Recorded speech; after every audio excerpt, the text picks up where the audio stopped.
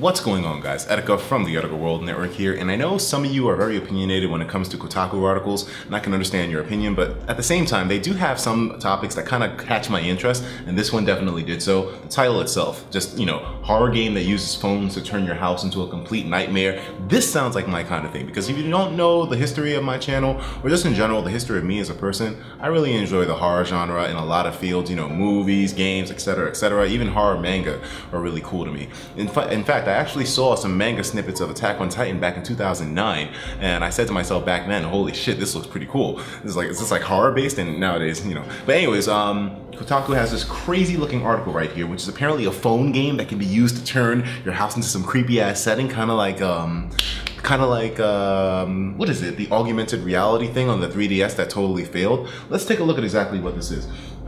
A game like this is booted up on a dark night when you're completely alone seems like a surefire way to shit your pants. Night Terror is an alternate reality game where you use your phone to see digital terrors. In a way, it looks a lot like the house-centric horrors PT offered on the PS4, except in real life and therefore potentially way, way scarier. While it does seem to have some jump scares, I think what really sells this is the audio. Like the Silent Hills demo, it seems as if a built-in radio will narrate some of the experience, and the things the game says are kinda eerie. Note for example how the radio guy goes on about saying how this is all in your head. When the player stands still, he actually notes it. This is kinda cool. The developer said that the game understands when you're standing and actively uses the information to craft your experience. The camera and microphone's feeds are analyzed and processed in real time, they note on the Night Terror's Indiegogo page.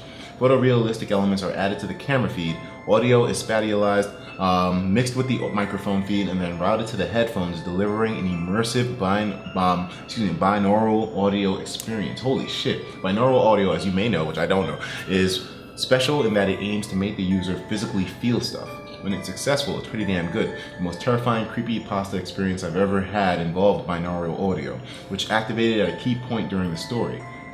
Probably the most intense feeling of dread a game has made me feel, all thanks to the audio. It's hard to say if Night Terrors will succeed on the same front, but the potential is at least there.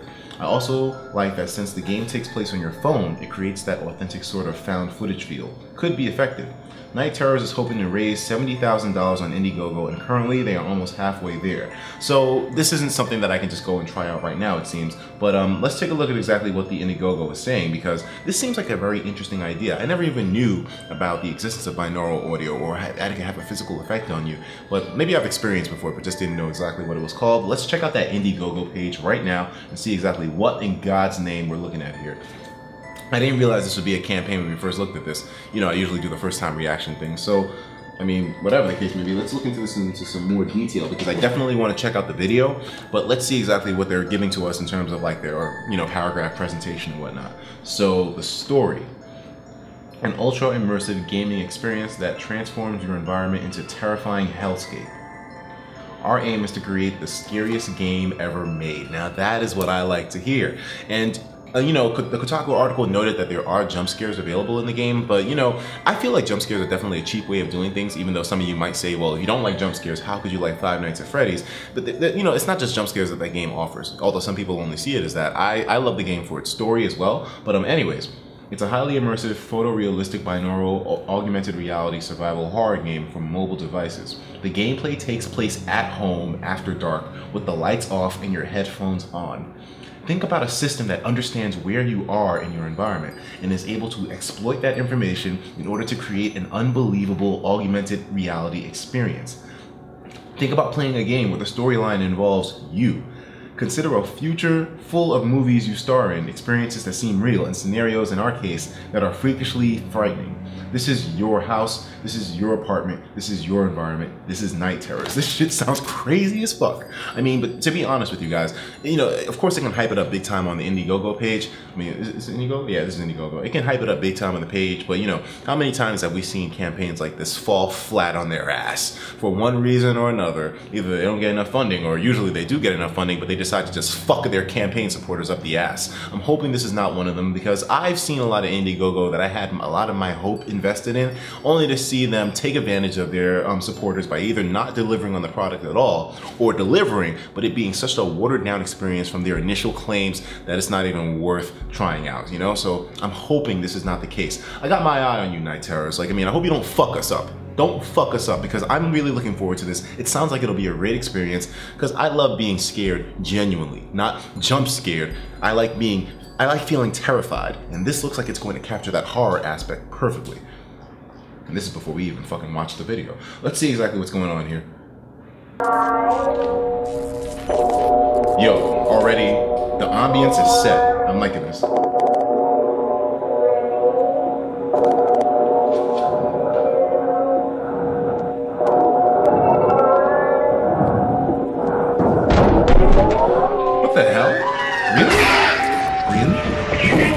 You can do?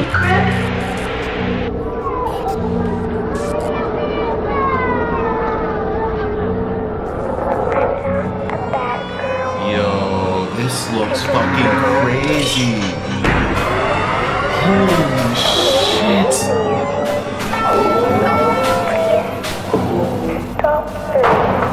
Yo. Huh. Didn't see ya. Pardon the drool. I'm Brian Mitchell, developer of Night Terrors, an augmented reality survival horror game. You might be asking, why did you call this Night Terrors? Well, he called it Night Terrors because we can only stay at night, and there are so many terrors in the game. Okay. Why are we still waiting for that really great augmented reality game? Where are those games that are so believable and so immersive that you're afraid to play them? That's what I'm talking about. That's the kind of game I want. Has come. Where I'm scared to play that bitch. you hear the familiar click of interference. A young girl tortured in another world needs your help. You have to save the little girl. She's ape, and she's trapped in a world.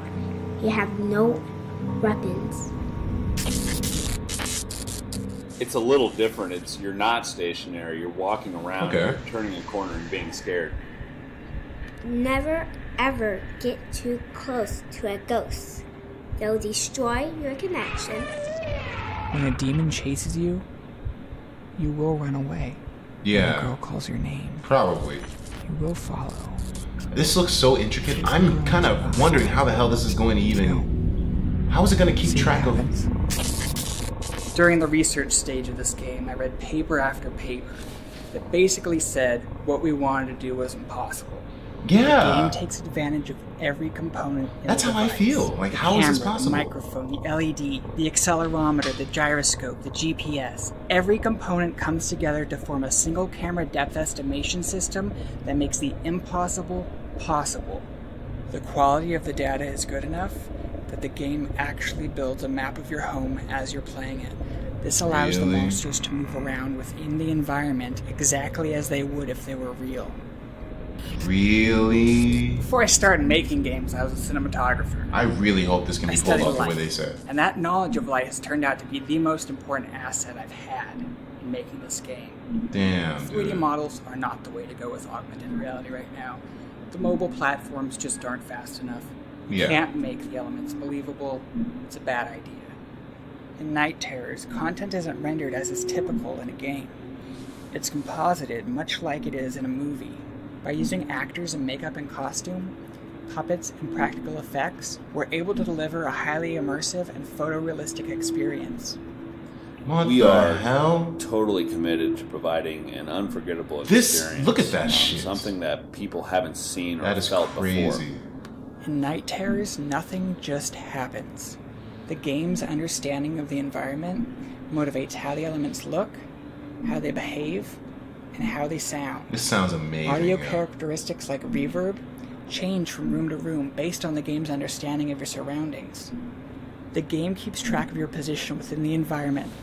When an element is behind a wall, the game understands that a wall So it'll be like a smaller player, sound. And the element sounds like it's behind a wall, and it behaves like it's behind a wall. And when played with headphones, Night Terrors delivers a spatialized binaural audio experience. Binaural. Thanks for watching our video. I hope you enjoyed it. We've been working on this for 14 months. Damn. There's still a lot bro. of work left to do. Right now, augmented reality is just a gimmick, but it, It has is a the gimmick. potential to be so much more. Every great book, film, and game pulls you into its world. Yeah. A great augmented reality game should escape from its world and enter yours. With your help, we can show the world what's actually possible. Thank you for watching.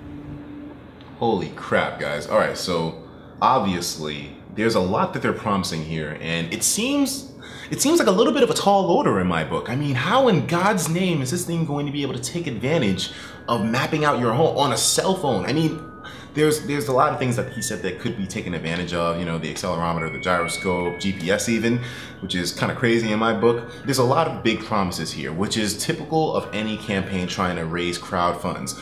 But I'm just hoping that the delivered product is not watered down, which is something that everybody, you know, in general would hope for. This project, definitely telling from like the ambiance of everything and just like what they're promising on, I'm excited about it, but I'm not sure if the end product will be able to deliver an experience as polished as what they're showing off in this video. Um, how is it going to work in different house types, for example, in an apartment which doesn't have that much room? Where are the thrills really going to come from? You know what I mean? Do you have to have a big ass house with multiple rooms in order to make this thing work out the way you would want it to? Is it really going to be as disturbing as they said? And how in God's name is a cell phone camera going to be able to keep up with the mapping of the rooms in a dark lit environment where cell phones suffer in low light in the first place? There's a lot of questions on the table, but at the same time, even though I have a lot of skepticism, I have a lot of doubt, a lot of questions, a lot just a, just a lot of, I guess you can consider them negative thoughts about this. At the same time, deep down, I am passionate about this. I really want this to work out. I'm looking forward to it. This looks like it's going to be a genuine horror experience without all the jump scare bullshit that we're all used to from horror nowadays. Let me know in the comments what you think about this whole thing. Big shout out to Kotaku for bringing this to the forefront. I'm excited for this, and I think if you're into horror as well too, you definitely should keep up with the project as well.